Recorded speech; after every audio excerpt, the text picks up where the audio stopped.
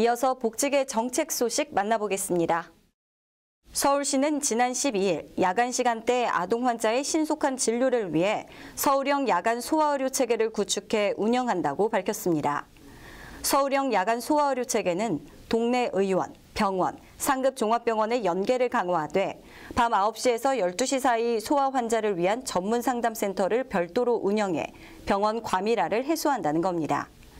우선 경증이 아픈 아이가 응급실을 찾지 않고 외래 진료를 받을 수 있도록 오후 9시까지 소아 청소년과 전문의가 진료하는 우리 아이 안심 의원을 권역별로 8곳 지정해 운영합니다. 또한 응급 소아 환자를 매일 24시간 진료하는 우리 아이 안심병원을 총 4곳 지정하고 현재 상급 종합병원 3곳에서 운영 중인 24시간 소아 전문 응급센터는 우리 아이 전문 응급센터로 지정해 운영을 강화한다는 계획입니다.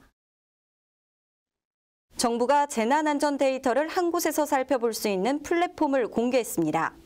행정안전부는 국정과제인 과학적 재난안전관리체계 구축과 범정부 국가안전시스템 개편 종합대책의 일환으로 추진 중인 재난안전 데이터 공유 플랫폼 사업 1단계를 완료해 지난 13일부터 누리집을 통해 개방했다고 밝혔습니다.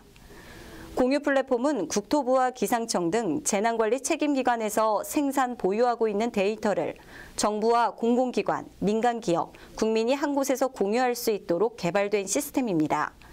지금까지 재난 안전 데이터를 찾기 위해서는 기관별로 여러 누리집을 방문해야 했고 특히 민간은 공공기관과 재난안전 데이터를 공유하는 체계가 원활하지 않아 정보를 제공받는 데 어려움이 있었습니다.